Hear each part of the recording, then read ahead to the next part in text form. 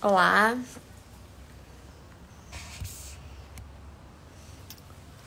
Bom dia a todos.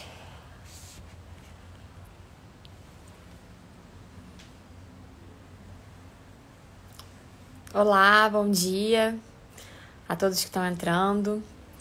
É, hoje teremos mais uma edição das nossas quartas processuais, né? Aqui da, da ESA. Nós vamos receber o professor Rafael Calmon para tratar do tema de pedidos implícitos. É, vamos aguardando aí o nosso palestrante do dia chegar, né? E lembrando que todas as quartas-feiras nós estamos aqui, sempre ao vivo, com algum é, professor, né? De direito processual civil tratando de algum tema relevante, de ordem prática, né? Na nossa vida aí da, da advocacia. É...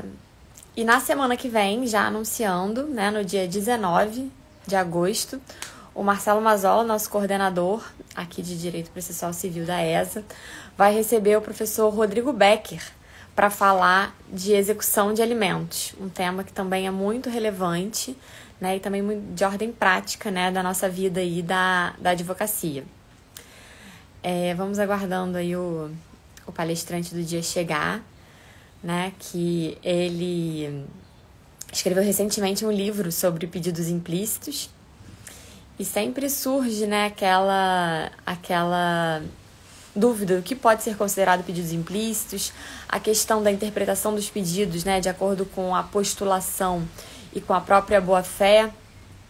Então, eu acho que hoje a gente vai ter é, é, uma grande aula aqui sobre, sobre essa matéria. E mais uma vez, é, lembro que as nossas quartas processuais não param, né? É, independentemente dessa situação aí de distanciamento social que a gente ainda vive, a gente trouxe né, a, nossa, a nossa quarta processual para é, o ambiente virtual, né? De um tempo já para cá. Isso, de alguma forma, né, a gente tem que tirar sempre uma coisa, né, as coisas boas, né, das situações mais difíceis e a grande vantagem disso é que a gente tem a oportunidade de trazer mais professores de fora, né, do Rio. Ah, aqui o nosso palestrante do dia já entrou. Deixa eu convidar ele aqui para entrar no nosso vídeo ao vivo.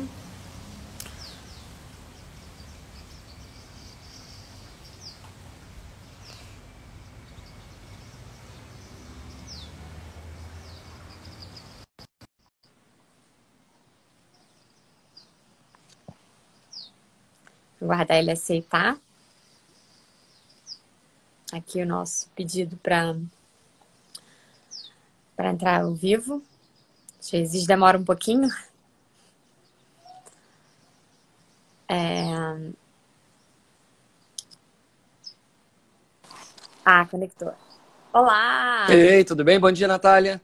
Bom dia. Olha, é uma grande honra para a gente da ESA ter você aqui né, nas nossas quartas processuais, né? E, e eu queria agradecer muito a sua, a sua participação, você ter aceitado o nosso convite para falar desse tema aí tão importante, né? Que foi a sua tese de doutorado e que já tem a versão comercial, exatamente. Aí, enfim, primeiramente eu queria te agradecer e antes de passar a palavra, eu vou fazer a nossa praxe aqui da, da ESA, né, de apresentar o palestrante é, do dia.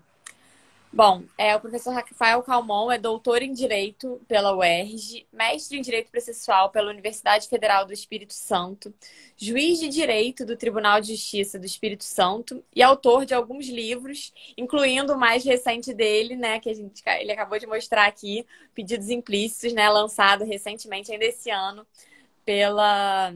pela editora Foco. Isso.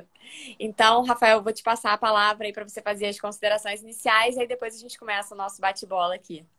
Olha, Natália, muito obrigado. Eu agradeço de volta a vocês, agradeço ao doutor Marcelo Mazola. Marcelo Mazola é praticamente o diretor da UERJ, tá? Se você não sabe, fica sabendo agora. É, ele é da diretoria geral ali. Ele fez a ponte entre nós dois, né? E eu agradeço demais a ele, ao pessoal que está chegando aqui. Espero que a gente possa trocar bastante ideia bem importante que enriqueça a gente nessa manhã.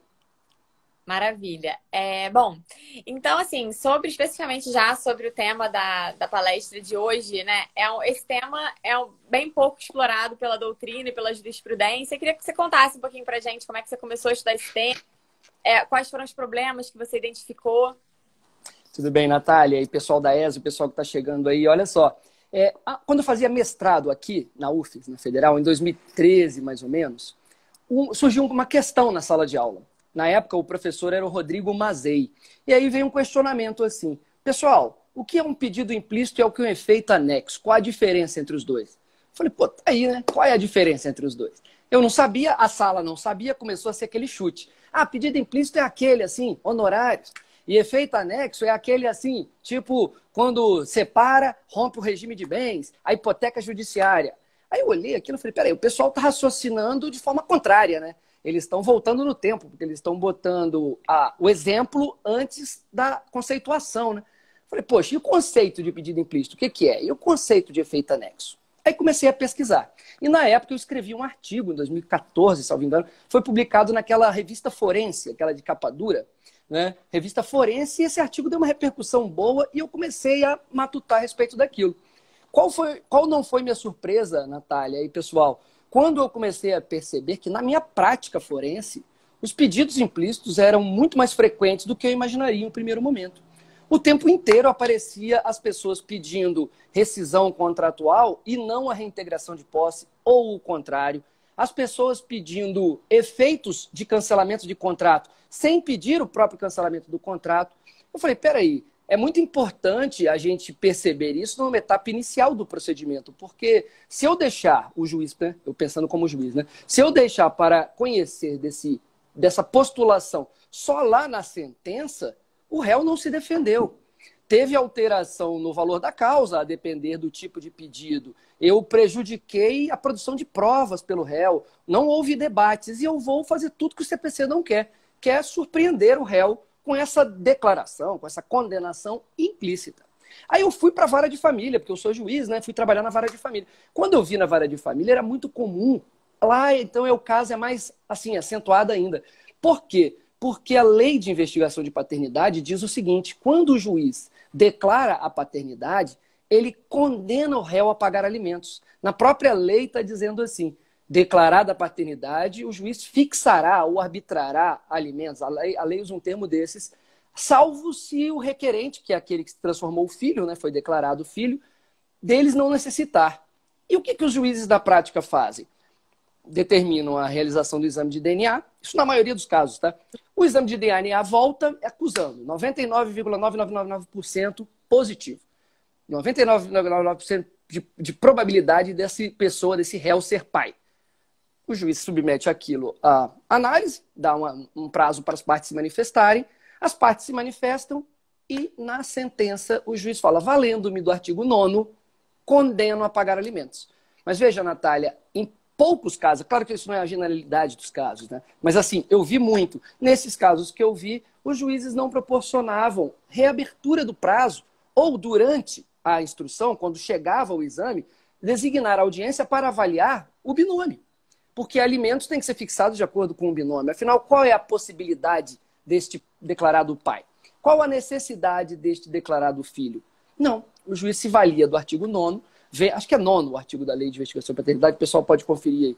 E se valendo daquela suposta imposição, desconsiderava todo o pano de fundo que tem ali, que é claro, a lei está dizendo uma coisa, aquilo é um texto normativo, a gente interpreta de forma contextualizada. E qual é a contextualização que tem que ser feita?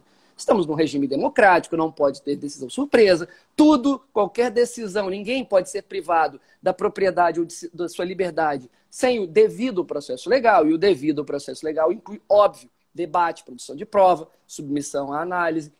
E condenava. Aí eu falei, é, quer saber, definitivamente isso é um chamado para eu estudar esse tema e eu vou pesquisar mais a fundo. Aí eu ingressei no doutorado da UERJ, meu orientador, aqui eu saúdo sempre, meu amigo hoje é o Marco Antônio Rodrigues, né? Lá que eu conheci o Marcelo Mazola e toda a galera. Vai um salve aqui para todo o pessoal lá, o Alex, o Alberto, o Tiago, todo Bernardo e todo mundo lá também. Conheci esse pessoal, tive o prazer de estudar na UERJ, faculdade que eu amo, universidade que eu amo, e lá desenvolvi meu trabalho. Essa, esse foi o início, Natália, foi o, o problema que eu, que eu identifiquei. E eu esqueci de mencionar. Quando eu fui pesquisar a respeito, qual não foi a minha segunda surpresa? Bom, a jurisprudência, se você clicar aí agora, não agora que vai sair da live, né? deixa eu acabar a live. Se você tiver um computador à parte aí, dá uma consultada na pesquisa de qualquer tribunal que você quiser. Desafio aqui, qualquer um. Pedidos implícitos, inclusive STJ e STF. Você vai ver que tem um monte de ocorrência. Ou seja, a jurisprudência, inclusive dos nossos tribunais superiores, reconhece uma figura denominada pedidos implícitos. Aí você vai para a literatura para a doutrina, pesquisar o que são pedidos implícitos. E você possivelmente vai ter que percorrer o mesmo caminho duro que eu percorri. Porque, salvo referências de uma, duas páginas, a doutrina não desce a minúcias. Ela acaba fazendo, em muitos dos casos, uma remissão bem genérica. Pedido implícito é aquele que você não precisa pedir. E ainda fornece exemplos, mas às vezes, Natália, pela pesquisa que eu fiz, e com todo respeito à doutrina, muitas vezes as remissões não estão batendo às vezes as pessoas estão imaginando que aquilo é um pedido implícito, mas não é bem um pedido implícito. Pelo menos, tecnicamente falar, falando, aquilo não poderia ser conceituado como um pedido implícito. Exatamente, isso que é muito importante, né? Que a gente pensa em pedido implícito, a gente já pensa logo ah, em honorários, em, em juros e correção. Mas não é só isso, né? Na prática, a gente vê que é muito mais do que isso o pedido implícito e que, e, e na minha visão, essa sua preocupação com o contraditório é fundamental. Essa questão de paternidade que você tratou aqui, você, o juiz fixará na sentença, tudo bem, mas como é que ele vai estar se ele não abrir o contraditório, se ele não sabe qual é a necessidade? Então, realmente é uma, é uma questão muito importante. A gente queria ouvir um pouquinho mais de você sobre quais pedidos podem ser implícitos, o que, que faz um pedido, o que a gente pode considerar como pedido implícito. Então, se tem alguns critérios. Claro, olha só, o, há um tempo já, a minha pesquisa re, re, assim, me, me remeteu à década de 70. O STF já reconhecia pedidos implícitos em casos assim que, de acordo com a minha conceituação, e claro, respeitando, a gente está aqui no ambiente acadêmico, né, é, não seriam bem pedidos implícitos. Mas, se você clicar na jurisprudência do STF, você vai encontrar julgados da década de 70 no STF. Porque na época né, não existia a Constituição ainda. Depois, com o STJ, desde sempre, a minha pesquisa indicou, acho que julgados na década de 90, bem do iníciozinho. Ou seja, é algo que vem acompanhando a jurisprudência nossa, ó, desde o século passado. Aí, o que, que acontece? Eu percebi que o STJ, pelo menos, ele considera pedidos implícitos não em um sentido estrito, não em um sentido técnico, ele considera implícito aquele pedido de forma geral ele meio que interpreta amplamente a palavra implícito e o vocábulo pedido. O que, que eu quero dizer com isso? Pelo que eu percebi, ele é tão genérico no posicionamento dele, não tem nenhuma crítica aqui a respeito de se é certo ou errado. Estou fazendo um apontamento. Que ele fala assim: é pedido qualquer requerimento, qualquer postulação, é pedido, quando a gente sabe que tecnicamente pedido é uma coisa, requerimento é outra. Ambos são atos de postulação. Mas pedido é pedido, não tem coisa julgada, não tem produção de prova, não tem repercussão sobre valor da causa, tem requerimentos. Você requer uma antecipação de tutela, isso não influi no valor da causa. O valor da causa está lá no pedido, não é? A coisa julgada não vai requerer sobre uma. Então, o pedido, pela visão que eu tive, na expressão pedido implícito, eles interpretam como qualquer postulação.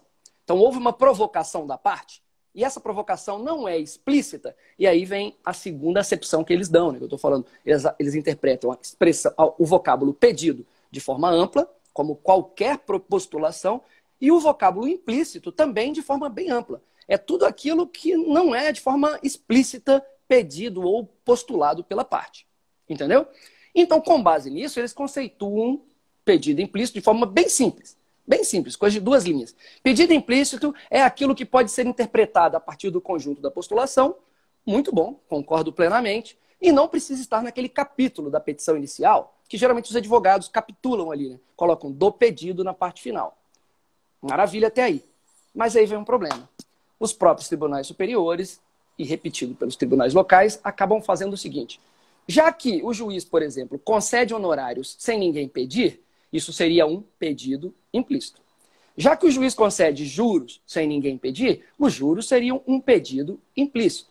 E assim eles vão tratando, quando por esses dois exemplos, de acordo com a pesquisa que eu fiz, e claro, com todo respeito, de novo, sujeito a críticas, a reparos, de acordo com a minha pesquisa, isso não seria pedido, porque veja, quem faz pedido é a parte. A parte deduz pedido. A pessoa, depois que intervém no processo e se torna parte, ela deduz pedido.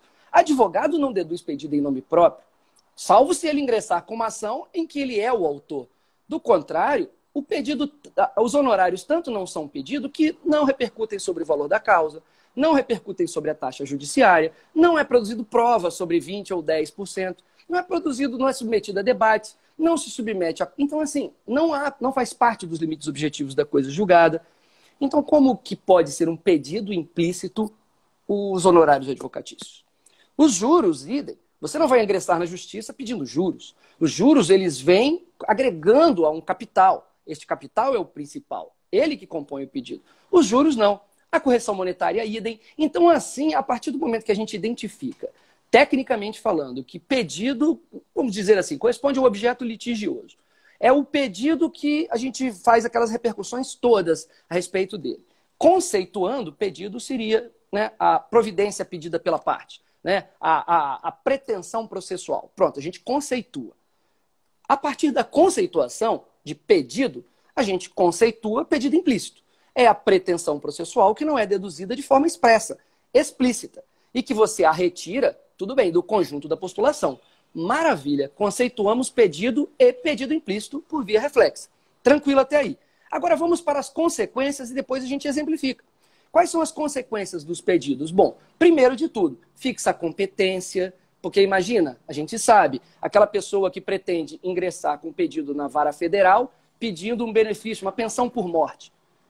Tudo bem, do INSS, ela ingressa na Justiça Federal. Agora, quando ela pede a declaração da união estável que ela teria para ela receber essa pensão por morte, a vara federal não pode, ela é incompetente para declarar a paternidade. Ela pode reconhecer incidentalmente, mas reconhecer incidentalmente, via de regra, não faz coisa julgada. Né? Nem mesmo valendo da técnica do 503, porque haveria incompetência. Um juiz federal não pode intrometer na justiça estadual na vara de família, não é? Então, competência, depois a gente já viu, atribui, é, repercute sobre o valor da causa. O réu tem que ser citado deste pedido. E, claro, ele tem que, ele pode né, proporcionar a alegação dele, fazer a alegação, contrariar esse pedido. Este pedido obrigatoriamente tem que ser submetido à prova, aos debates. Possivelmente o juiz, antes disso, vai sanear e, e, e ver as repercussões desse pedido. Alegações finais. O pedido tem que constar no relatório, na fundamentação e na decisão da sentença e interfere nos limites objetivos da coisa julgada. Se o juiz for omisso a respeito, desafio, embargo de declaração, e por aí, Natália, a gente vai construindo umas 10, 12, 15 consequências diretas do pedido e são inegáveis. Bom, então a gente já conceituou o pedido, e pedidos implícitos. A gente já viu as consequências. E agora vamos para exemplos. Ué, coisa mais fácil. Um pedido de condenação ao pagamento de indenização, um pedido de declaração de nulidade, anulação de alguma assembleia, de algum contrato, um pedido de rescisão contratual. E assim a gente conhece o que é pedido. Então, maravilha. Eu acho que assim, respeitosamente, é feita uma cientificidade na, na situação. A gente conceituou, a gente viu consequências e a gente viu exemplos. Maravilha. Isso é o que a teoria é, recomenda, eu acho que deveria ser feito. Mas na prática, a gente já falou aqui que os próprios tribunais acabam, possivelmente por uma lacuna, uma carência legislativa, conceituando de forma ampla pedido para, né, na expressão pedido implícito, o vocábulo pedido é compreendido, pelo menos em via de aparência, assim, tá, Natália? Como qualquer requerimento, qualquer postulação ou seja, não é a pretensão processual. Qualquer postulação. Então, a gratuidade da justiça, é, liminar, produção de provas, tudo seria, sob essa ótica, né, uma postulação, e não deixa de ser. Mas não é pedido. Não é? A gente já viu que não corresponde à pretensão processual. E o implícito deles é que possa ser, assim, extraído de qualquer jeito. E também no, no critério implícito eu faço alguns retoques nesse meu estudo. porque a gente está num tempo, Natália, e isso, isso nos custou muito caro, de privilegiar a autonomia privada. Aliás, já tem tempo que a gente tem que privilegiar a autonomia privada. A estratégia da litigância, estratégia processual desenvolvida pelo advogado, o processo de tomada de decisão, que é algo invisível a princípio. E isso tudo é negociado entre o advogado e o constituinte. O Poder Judiciário, o juiz, o Estado, não pode intervir e extrair da postulação algo que você, cliente, você, autor, com meio do seu, da conversa com seu advogado, do diálogo, elaboraram uma estratégia você não quis deduzir naquele momento. Então, no meu próprio livro, eu cito vários exemplos, vários, vários, e eles são cotidianos. Você quer ver um bem emblemático? Se o juiz, eu vou falar dois casos, tá? Se o juiz, como eu falei no caso de alimentos, extrair da petição inicial que o autor quis, sem nem consultá-lo, ele pode violar ao mesmo tempo uma prerrogativa do autor de não deduzir aquilo, violando o princípio dispositivo, porque o autor não quis pedir. Nós estamos num sistema, em regra, gerido pelo princípio dispositivo, orientado pelo princípio dispositivo. Então, se o autor não quis pedir, cabe a ele, se omitir ele não quer, ele que suporte as consequências. Então, o juiz que conhece de ofício sem fazer nada, como naquele exemplo de alimentos que eu mencionei, não é? sem nem consultar, nem nada, nem consultar o autor, ele viola, na perspectiva do autor e, claro, do sistema, o princípio dispositivo. E daí a autonomia privada, a liberdade da parte, enfim. E na perspectiva do réu, o contraditório, a ampla defesa, ou seja, ele implode um sistema democrático, coparticipativo, fundado na liberdade, no princípio dispositivo. Esse é o primeiro exemplo que eu queria dar. Agora, no, no, aí eu falei assim, né, nações de família, a gente vê nos alimentos lá como isso é preocupante. E você quer ver um outro exemplo? É isso que eu ia falar. Um outro exemplo emblemático. Nos juizados especiais, a não dedução, dedução de algum pedido pode ser tanto a sua estratégia que faz com que se mantenha no limite dos 40 salários. Se o juiz conhecer de ofício, ele pode quebrar a própria competência do juizado especial e fazer, olha, agora eu estou conhecendo de ofício e eu remeto para uma vara civil residual, porque refoge ao valor né, este pedido que eu estou conhecendo, de repente, é uma condenação e ultrapassaria o valor de alçada aqui dos juizados. Só que o autor não quis. Então é super importante ao juiz. Na verdade, é necessário, é indispensável consultar, antes de qualquer outra coisa, o próprio autor. Porque o autor pode não ter querido introduzir aquele pedido. Exatamente. E eu estou aqui só pensando já nas, nas que eu estou no mestrado lá da UERJ, e eu já estou pensando na repercussão de tudo isso que está falando aqui para gente na minha dissertação.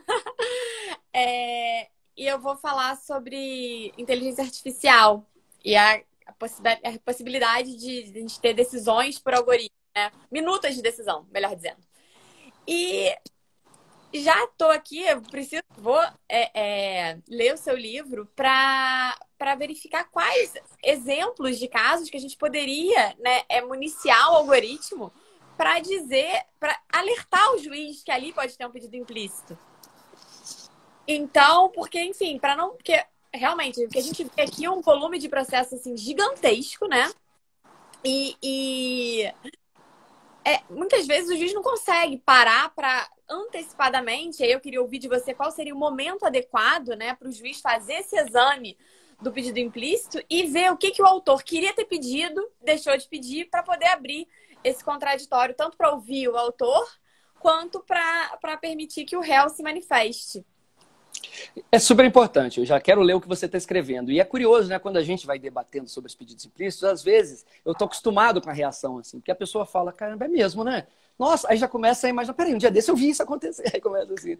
E é comum. O que, que acontece? É, o código passado, o código de 73, que foi erigido sob uma base axiológica, né, valorativa daquela época, né, período da ditadura, sob uma base que não existia uma constituição democrática como a de hoje, ele assegurava o seguinte: bom, depois né, do saneamento, é impossível a alteração. Ele não usava o termo impossível, mas ele falava assim: é, é do artigo 264, em nenhuma hipótese será admitida a, o aditamento ou a modificação do pedido após o saneamento. Em nenhuma hipótese, ele botava assim. Se não é o termo em nenhuma hipótese, era algo que remetia a isso. Então você percebeu um rigor. Só que na prática, o que as pessoas faziam, Natália? Uma situação que é absolutamente incoerente no sistema brasileiro. É igual aquela situação da, do agravo não ter efeito suspensivo de regra e a apelação ter efeito suspensivo de regra. Quer dizer que uma decisão interlocutória vale mais que uma sentença. É algo meio incoerente no meu ponto de vista, né? Porque uma decisão interlocutória proferida de um jeito, de uma cognição incipiente frente à da sentença, ela já tem executividade imediata. Enquanto a sentença que foi proferida com todo contraditório, a defesa, cognição profunda, debate profundo, tem um efeito suspensivo automático. Mas é algo que o Brasil, acho que um dia ainda vai vai perceber, claro que já percebeu, e vai mudar alterar a, a lei. No caso da, do aditamento, que eu falava, da, do rigor do CPC 73, era algo meio incoerente, tanto quanto. Por quê? Em nenhuma hipótese era permitida alteração. Só que o autor fazia o quê? Ajuizava uma outra ação em apenso e dava só mais trabalho para as pessoas. Porque era um outro processo. Ah, esqueci aquele, aquele pedido no outro processo aí que já saneou. A lei diz realmente, não posso aditar, tá? Mas então tá, vou promover uma demanda em apenso aqui. Ah, vai ter que autuar processo quando era físico. Todo um problema e o processo corria lado a lado. Então, assim, durante o. Esperar, né? Por ser conexo, tinha que aguardar chegar na mesma fase para os dois seguirem juntos. Ai, era muita incoerência. E ainda é. Mas, felizmente, né, o, o nosso CPC atual, erigido com, um, com valores completamente diferentes daquele de 73, princípios, mentalidade diferente, durante os debates, tentou flexibilizar bem, né? Durante os debates do, do, do anteprojeto, do CPCI, do projeto, foram debatidos vários pontos, e um desses pontos é isso, a flexibilidade processual. Né? Mas ficaria perigoso, na visão deles, permitir o aditamento, a alteração, a modificação do pedido a qualquer momento. Coisa com a qual eu concordo. Limite e caldo de galinha faz bem, não faz mal a ninguém, não é? Então, o que, que o CPC fez? Ele não foi nem tanto ao mar, nem tanto à praia. Ele não quis colocar o em nenhuma hipótese, que tinha no 264 do CPC passado, ou seja, em nenhuma hipótese, depois do saneamento será permitida a modificação. Ele não foi tão rigoroso assim, não colocou esse em nenhuma hipótese, mas ele continuou mantendo. Depois do saneamento, é proibida a alteração, a modificação do pedido. Mas ele contém uma ressalvazinha. Ele falando assim: pode haver a, alteração do pedido até um certo ponto, que é antes do saneamento, desde que seja proporcionada a produção de prova e oitiva do réu. Opa, ele abriu já um caminho e além de, do próprio artigo do saneamento dizer algo assim, é claro que eu não estou me referindo aqui ao termo exato, porque eu estou sem o código aqui, ele ainda tem uma abertura, ele permite várias modificações do pedido. Por exemplo, se as partes fizerem uma convenção processual, que lá na UERJ nós temos o professor Antônio Cabral, que na minha opinião é quem melhor discorre sobre o ponto foi, foi, foi meu professor, deve ser o seu também. É, é possível depois do saneamento. Não há um limite para as convenções processuais temporal, especialmente se o juiz concordar. Pode então ser feita uma alteração consensual do pedido. As partes podem combinar de modificar, de acrescentar pedido, se for por acordo, que problema tem? Mesmo depois do saneamento. Então não tem problema nenhum mesmo depois do saneamento. O incidente de desconsideração da personalidade jurídica, Natália, se ele for deduzido, como diz o código, a qualquer momento, está lá no artigo 134 ou 133, eu não me recordo, ele também inaugura uma coisa ainda mais grave. Ele amplia subjetivamente a lide, que é trazendo a pessoa que terá a sua personalidade desconsiderada, e também objetivamente, que inclui um pedido de desconsideração. E o, o, o, o, código está cheio de exemplos continua permitindo a ação em apenso, essa que a gente comentou agora há pouco. Então a gente já desconstrói esse rigor absoluto da decisão de saneamento. Convenhamos, o ideal é que até o saneamento haja a estabilização objetiva e subjetiva da demanda. Por quê? Porque a partir do saneamento que serão fixados os pontos controvertidos, aliás, é no saneamento, e a partir dali terá início a produção de provas. E ficaria inconveniente, contraproducente, se toda hora tivesse uma modificação, tivesse que reoportunizar a outra parte, se manifestar, sanear, estabilizar e produzir provas de novo. Mas, convenhamos, a atividade interpretativa, Natália, ela, em alguns pontos, em alguns pontos, ela pode ser, além dela ser essencial, porque não existe texto sem interpretação, súmula é interpretada, porque a súmula é um texto, a sentença é interpretada, está no código, a sentença é um texto. Petição inicial é uma narrativa, é um texto, precisa ser interpretada. A atividade interpretativa do juiz tem que ser desenvolvida em conjunto com as partes. Já falei longamente aqui, a gente já debateu sobre o novo regime democrático, contraditório, participação, liberdade, não é? Autonomia, regime democrático. Então, em algumas situações, talvez seja possível, a excepcionalidade da situação, levar ao ju o juiz, claro, sempre com o auxílio das partes, a interpretar e a extrair pedidos implícitos, ou seja, a explicitar pedidos implícitos, mesmo depois do saneamento. Alguns casos podem levar a isso. Eu acabei de mencionar aqui o caso do pedido de alimentos, não é? Alimentos é preciso, é indispensável que a gente faça prova sobre o binômio. Não tem como o juiz fixar alimentos sem o binômio. Então, se de repente já descobriu que é pai pelo DNA, ora, já teve o saneamento lá atrás, onde foi determinada a produção dessa prova pericial, não é? Depois seria possível, em tese, reabrir-se toda a instrução, mas apenas para o pedido de alimentos. Como? Proporciona-se ao réu um aditamento da contestação. O STJ tem precedente, inclusive mencionando aditamento da contestação, menciona nesse livro aqui, só sobre o ponto do pedido de alimentos, que a esta altura já não é mais implícito. O juiz já teria identificado e explicitado. Produzem provas, fazem-se os debates e o juiz inclui na sentença, de modo que houve um atrasozinho processual? Houve. De modo que houve a quebra do, do, da, do rigor, assim, mais ou menos, formal, que não é tanto quanto era no CPC 73 de hoje, de que deve ocorrer a estabilização objetiva da demanda até o saneamento? Houve. Mas o próprio sistema céu decepciona? Então, que tal, neste caso, desde que assegurado contraditório, participação, ampla defesa, debates, participa ambiente colaborativo, o juiz quebrante esta regra também e reabra a instrução, mesmo depois do momento ideal. Então, vamos lá. O momento ideal, na minha visão, é o recebimento da inicial, Natália. Por quê? Porque o juiz, ao receber a inicial, deve fazer uma análise criteriosa da petição e perceber se ali a interpretação dele, a interpretação do juiz, pode levá-lo a extrair, a considerar embutido no conjunto da postulação uma providência implícita. Esse é o momento ideal. Em o juiz detectando isso, Natália, na minha opinião, deve ouvir o autor, o próprio autor, antes de ordenar a citação. Este é o modelo ideal. É o cenário perfeito, em que não haveria nenhum problema, nenhuma alegação. Porque o autor ouvido poderia dizer: sim, juiz, me desculpa, cochilei. Ou então, no ponto aí que eu disse isso, eu quis mesmo, veja, mas talvez eu não tenha escrito muito bem, talvez eu não tenha me feito entender corretamente, tal, tal, tal. O juiz, ao perceber isso, ele está vinculado. E o que, que ele deve fazer? A depender do caso, claro, analisar a competência. Exemplo, um juiz federal percebendo que a pessoa pediu a pensão por morte, né, a implementação da pensão por morte, e não pediu a declaração. Mas o juiz olha, fala: Você quer a declaração de união estável que você manteve com esse falecido, com esse segurado falecido que você quer receber a pensão morte? Ah, sim, quero. O juiz fala: Neste caso, não é possível.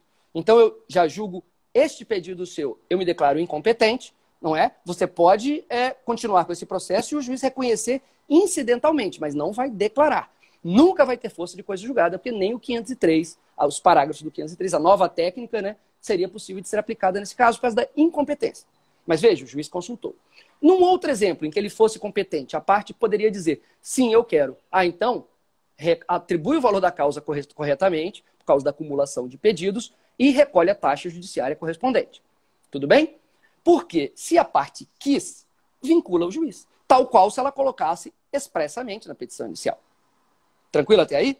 O juiz está vinculado a conhecer, ele não é vinculado a julgar procedente, mas ele é vinculado a conhecer. Agora, na consulta dele ao autor, o autor pode dizer: não, eu não quis dizer isso de jeito nenhum. Me desculpa se eu fui mal compreendido, mas eu não quero, tanto que eu não pedi. O juiz imediatamente deve cessar qualquer atividade, porque não houve pedido. Ordenar a citação e nesse processo a gente não precisa falar mais nada, porque seria um processo comum. Agora, no momento após a citação, a gente teria um problema. Porque depois da citação do réu, o réu tem o direito de falar: eu não aceito o aditamento. Eu não aceito a alteração. Tem que me ouvir. Então, se for após a citação o juiz descobrir, o juiz teria que consultar o autor, claro, sempre, e também o réu. Só que de forma diferente do que acontece com o autor, a negativa do réu não vincula o juízo. Se o réu disser não, eu me recuso totalmente a esta a este aditamento implícito. Aí é reconhecer a que o juízo reconheça esse pedido implícito. Porque vou ter prejuízo, isso, isso, isso, aquilo. O juízo pode, como eu mencionei em um exemplo das ações de paternidade e alimentos, verificar que existem ganhos sistêmicos. o sistema como um todo ganha, a economia processual, o autor provavelmente iria entrar com outra ação e gerar mais um processo, ou seja, ia ingressar com mais processos no judiciário, congestionando mais ainda, e uma série de outros fatores, desde que, claro, por uma decisão fundamentada, o juiz reconhecer. Esse segundo, seria o segundo cenário, Natália. O primeiro é aquele ideal na análise da petição. Não tem irregularidade nenhuma. O segundo, não é que teria irregularidade, poderia ter problema. O réu poderia objetar. E o juiz, admitindo o pedido implícito, mesmas consequências. Autor é, é, paga, atribui valor da causa adequadamente, recolhe a taxa judiciária e, preferencialmente, Natália, ou ordena ao autor para acrescentar por expresso, por escrito ali na petição inicial, deixando bem claro, ou o próprio juiz. Em qualquer caso, isso tem que ser explicitado. O juiz deixar claro na decisão. A partir de agora, onde na petição inicial consta tal coisa, o pedido tal é compreendido e está sendo explicitado com as repercussões devidas que ora ordena. Aí o autor teria que né, atribuir valor à causa correspondente, pagar a taxa judiciária. O réu seria, neste caso, novamente citado só desse pedido, na hipótese dele já ter sido se opor, né? Só deste pedido, e aí, a partir disso, haveria o saneamento, produção de provas a respeito. O problema é quando isso acontece em etapa posterior aos debates. Ou seja, durante os debates, o autor faz menção: ah, mas eu pedi tal coisa. O juiz analisa e fala, onde que você pediu que eu não vi? E o réu é mesmo onde que eu não vi? Olha, neste trecho da petição inicial está bem claro. Quer dizer, bem claro não está, mas eu sempre quis e deixei, assim, manifestei a minha intenção. Talvez juiz ele possa falar, o senhor é que não leu adequadamente, como deveria ter lido. E aí a gente tem um problema. Depois do saneamento, as provas já produzidas, Natália, aí eu estabeleço no meu livro um critério. É claro que é caso a caso. É impossível a gente né, delimitar assim. Jamais poderia. Porque se jamais pudesse, o legislador brasileiro não teria flexibilizado a regra do saneamento, não admitiria convenções processuais depois, não admitiria a intervenção no caso de, de incidência de consideração da personalidade jurídica a qualquer momento. Então veja que o nosso CPC se inclinou a algo bem mais flexível do que o CPC 73. Isso quer dizer oba-oba? Claro que não. Aí entrariam aqueles fatores invisíveis. Boa fé, ética, estratégia, planejamento, ver se a pessoa não estava guardando na manga, como né, uma atitude antiética, não cooperativa. Então, seria uma análise caso a caso. Mas o que eu posso afirmar, e já terminando aqui para você falar, não teria como a gente botar um ponto final. Olha, depois desse momento, não é possível nunca mais. Veja a seriedade que isso poderia acontecer num processo de família. Né? Basta a gente imaginar a, a vantagem que teria para o sistema se reabrisse a instrução, mesmo depois da juntada do DNA aos autos, ou seja, já na fase final, prontíssimo para alegações finais de sentença, reabrir a instrução. O que seria melhor? Elastecer um pouco mais o processo, mas garantir uma justiça é, prestada com né, debates, contraditório, democracia, ou causar uma surpresa ao réu e ao próprio autor, como eu disse, porque ele poderia não querer, naquele caso concreto, os alimentos, tanto que ele pode não ter pedido. Então é mais ou menos por aí. Não, perfeito. Ficou muito claro, assim, e isso mostra para nós, advogados, que a gente tem que ler e reler a petição inicial para ver se realmente está tudo claro, está tudo bem explicitado ali nos, nos nossos pedidos e, e contar com o juiz colaborativo que leia e possa eventualmente fazer outra, inter... outra interpretação e venha consultar né, o, o, o autor para isso. E assim, é tinha algumas perguntas aqui que eu estou resgatando aí dentro disso que a gente estava falando agora. Ah, tem a primeira pergunta que foi feita aqui é se pode considerar implícito pedido de autorização, desculpa, de viagem quando na verdade seria em guarda, porque a mudança tem, tem intuito de ser definitivo. Tá vendo como acontece, Natália? É só a gente jogar ao debate que surgem várias questões, várias. Veja, a pessoa está, a princípio, pedindo a guarda. Só que a guarda é para possivelmente se mudar para outro estado, se mudar para outra cidade. O juiz atribui a guarda pensando assim: só vou te atribuir a guarda, mas você vai continuar morando aqui na cidade. Vai continuar sendo possível o regime de convivência, que as pessoas chamam de visitação, né? tranquilamente, não tem problema. Mas veja, a pessoa talvez tenha dito a juiz: eu disse na petição inicial. Ou o que é ainda mais grave, eu disse ao meu advogado, talvez ele, por um equívoco, não tenha colocado, mas a minha intenção a minha verdadeira intenção sempre foi para a viagem. Sim, uma breve consulta, Natália, pode resolver um problema gigante. Agora, vamos trabalhar sempre, né? Quando a gente fala de direito, a gente fala de limites, né? É, o juiz também não tem que ficar o tempo inteiro, ei, ei, ei. Para isso, a justiça é formada, o sistema de justiça é operado por profissionais. O advogado tem uma estratégia, o advogado tem formação em direito, é claro, por isso um profissional. Então, cabe a ele, é claro, provocar. Cabe a ele, no mínimo, na petição inicial, dar rastros para que o juiz possa ter uma base concreta, uma base expressa a partir da qual ele perceba algo implícito. Agora, do nada, só quero a guarda por causa disso. Não tem como o juiz ficar consultando o tempo inteiro. Ei, mas você quer tal coisa? Você quer tal coisa? Então, deixando claro, a participação do advogado é tão fundamental quanto. O juiz ele é provocado. Ele recebe uma peça que o provoca, para ele sair da inércia, é claro. E essa peça tem que ou já vir expressa, aí a gente não está falando de pedidos implícitos, porque já está tudo expresso, explícito, ou pelo menos rastros ao longo dela. No caso que essa pessoa perguntou, que eu não vi quem foi, deixando pelo menos assim: pretende viajar, já está com viagem marcada, arranjou um emprego em outro lugar, a criança já vai se matricular nessa escola. Aí você percebe, poxa, matricular, emprego é algo que não é temporário. Para outra cidade deve ser uma mudança, entendeu? É, e a, a, o Mazola até chegou a fazer um comentário aqui e você falou aí de consulta, eu lembrei da, do tema da dissertação dele, que são os deveres do juiz, e entre eles ele trata do dever de consulta, né? Quando surgir a dúvida, ele ouvir da parte né, na, atuando lá da forma do artigo 6, no juiz cooperativo, deve ouvir. Mas como você disse, realmente não dá para ficar ouvindo, dá para ficar provocando o tempo todo por conta da, da própria inércia da, da jurisdição, né? Claro, ele poderia se quebrar a inércia e a imparcialidade dele, né? Por que, que o juiz está perguntando tanto para o outro juiz? Você quer saber o quê? Você quer ajudá-lo? Entendeu? Então seria perigoso. Os debates com o Marcelo Mazola, nosso diretor da, da UERJ, foram essenciais. Eu e Mazola descendo as rampas lá da UERJ, conversando sobre dever de cooperação, na audiência de mediação, pessoas que guardavam carta na manga. Isso é super importante, mas Mazola reina. é, bom, e, e, já avançando aqui, a gente. Peraí, que eu tinha pego aqui mais uma pergunta que acabou saindo aqui da minha, do meu radar. Mas. Enfim, com relação ao, ao princípio lá da distrição você, o que, que você entende? O pedido implícito viola, não viola? Pode ser considerado extra pedido? Quais são os limites, né? Dessa. dessa Exatamente. Exatamente. Ele não viola a regra da distrição, por quê? Porque ele sempre esteve na petição inicial. Você está entendendo a diferença entre um pedido implícito e o acres... a, é, a adição, o adicionamento de um novo pedido? Ele fica numa zona meio intermediária entre o não pedido o pedido que ele é e o acréscimo de um pedido. Ele fica no meio termo aqui. Eu não vejo como ele viola a regra da distrição de jeito nenhum, mas claro, pessoal, vamos entender as coisas nos seus devidos lugares, né? Ele não viola se ele for explicitado antes, Natália. O que tem que estar na mente do profissional é isso, é ele tem que ser explicitado antes da sentença, não na sentença.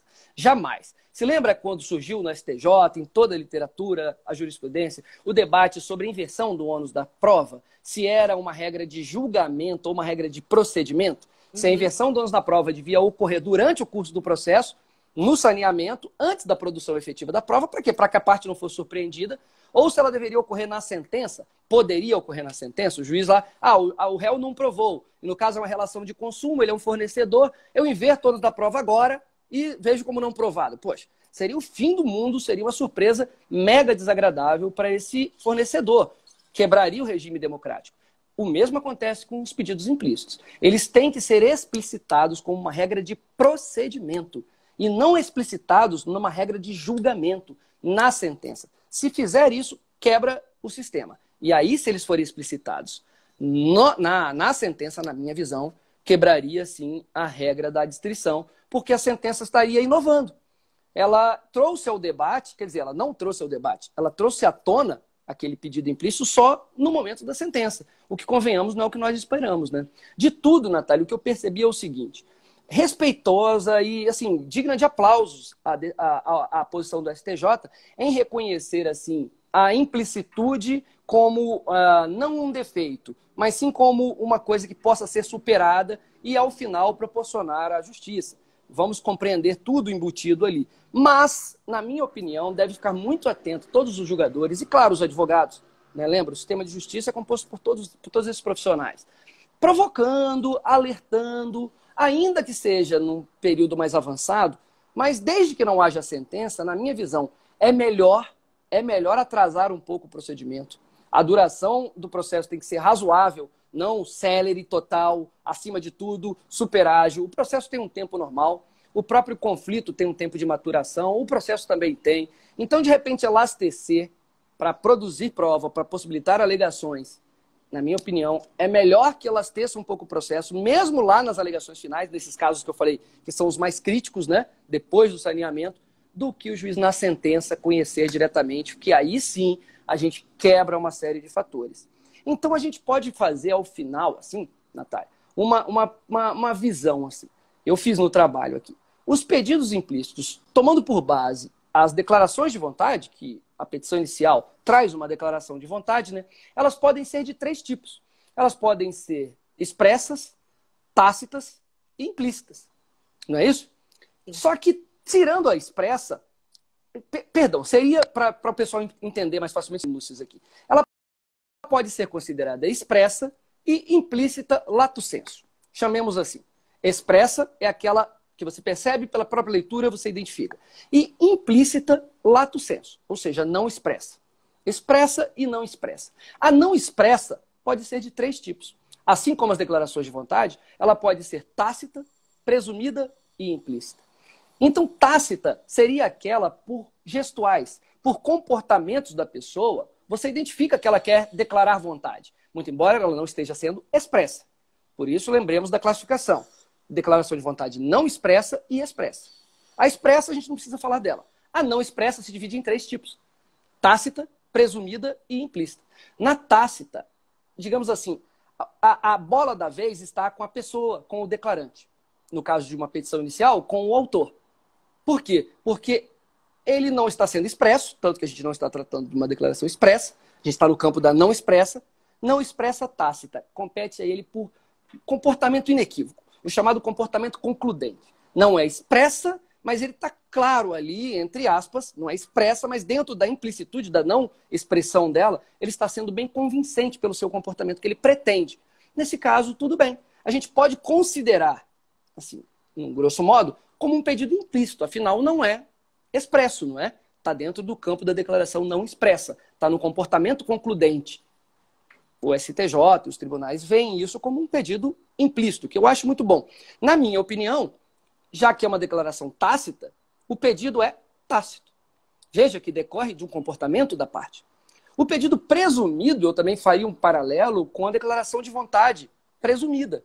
A presumida, a bola da vez, não está com a pessoa, com o declarante o sistema, a lei, a norma jurídica, já faz a presunção por ela.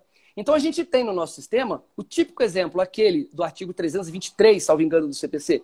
Consideram-se incluídos no principal os juros. Veja, não é? as prestações sucessivas. Não é isso que o código diz? O próprio sistema já presumiu. Perceba que não precisa nem de declaração expressa, porque a gente está no campo das não expressas, e também não precisa de um comportamento concludente do autor, do pedinte do declarante. Porque o sistema jogou. A, a bola da vez está com o sistema. Cabe ao sistema fazer essa escolha por você. Então ele coleta em alguns pontos que ele quer e coloca assim: presume-se incluído, neste caso, neste caso, considera-se incluído tal coisa. Então ele colocou neste exemplo, com incluídas na condenação, os juros, as prestações sucessivas. Não é isso que está escrito? Então seria o pedido não expresso do tipo presumido. E o pedido implícito, propriamente dito, que é esse que a gente está tratando, numa visão bem reduzida, tá, Natália? Foi isso que eu defendi lá no dia na UERJ. Seria aquele que não decorre de comportamento concludente do autor e também não decorre do sistema. O sistema não fez a escolha. Decorre da natureza da relação jurídica debatida no processo. Existe uma relação, Natália, de antecedente e consequente. Então a gente começa a pensar nesse raciocínio mais fino, mais reduzido, mais de perto, que pedido implícito propriamente dito, se não for considerado lato senso, né? Como eu falei, lato senso seria tudo aquilo que não é expresso. Mas a gente vê que na categoria de não expressos tem os presumidos, os tácitos e também os implícitos propriamente ditos, que seriam decorrentes da natureza da relação jurídica. Então, repisando, o pedido poderia ser expresso, deduzido por expresso, inequívoco, ou não expresso, quando ele é equívoco. E o não expresso se subdividia em três tipos: o tácito, em que dependeria do comportamento do pedinte, do declarante, o presumido, que não precisa de comportamento de ninguém, porque o sistema já fez isso pela pessoa, o sistema presumiu, e o implícito, que não decorre nem do sistema nem do comportamento, decorre da natureza da relação jurídica. Então, um exemplo bem claro, para a gente já estar tá quase caminhando aqui para o final, quando você sofre um dano decorrente de um ato ilícito, o nosso sistema brasileiro fala o quê? É o dever do réu, aquele nemine laderi, né? Ninguém pode lesar o outro, sob pena de ser obrigado a reparar. E a reparação pela Constituição é integral, o que inclui danos estéticos, morais, materiais, sociais, e a gente poderia incluir outros tipos de danos aí. Se o autor, numa relação de dano sofrido por um ato ilícito, ele não pede nenhum desses, dessas consequências, convenhamos, a natureza da relação jurídica autorizaria a ele pedir todas, não é? Ele pode não escolher, não pedir, porque a gente tem um princípio dispositivo. Tem aquilo que a gente falou, a estratégia, tem aquilo que a gente falou, a, a, o planejamento, é? a, tomada de decisão, coisa que compete ao advogado e ao, e ao, e ao autor, a parte, o cliente dele. Mas a relação jurídica autoriza. Então, em aspas, Natália, a conclusão do meu trabalho é essa. Este tipo de cenário desafiaria o verdadeiro pedido implícito, porque a natureza da relação jurídica, uma relação de antecedente consequente. Ocorrido o antecedente, surge como consequente todas as possibilidades. Quais? Ser reparado por dano material, moral, estético, social, enfim. Neste caso, o, autor não pedindo, surgiria o típico cenário. O juiz poderia, a depender, é claro, fazendo tudo aquilo que a gente já falou, do que tiver considerado, ou seja, de uma base, pelo menos material, um, né, um, estando embutido no conjunto da postulação, ele estaria autorizado a conhecer o verdadeiro pedido implícito. Uma outra situação, paternidade. Declarada paternidade, quando a lei de paternidade fala que fixará alimentos, ela está se referindo talvez ao alimentando, aquele que, aquele que pede maior. Porque ao menor, quando você é declarado pai, vem o feixe de poderes e deveres decorrentes do poder familiar. Vem nome, vem tratamento, vem herança, vem é, responsabilidade, vem guarda, convivência, não é? Então, na lei está escrito declarada a paternidade, fixará alimentos. Como assim? E o regime de convivência? Por que, que não fixa? E a responsabilidade parental pelo filho? Afinal, pai é pai, não é? Se é declarado pai e a pessoa, o autor da ação, é menor de idade, você tem o poder familiar sobre ele. Então, vem todos os poderes, deveres, o feixe de poderes deveres. O juiz poderia, então, regulamentar a convivência numa ação como essa, né?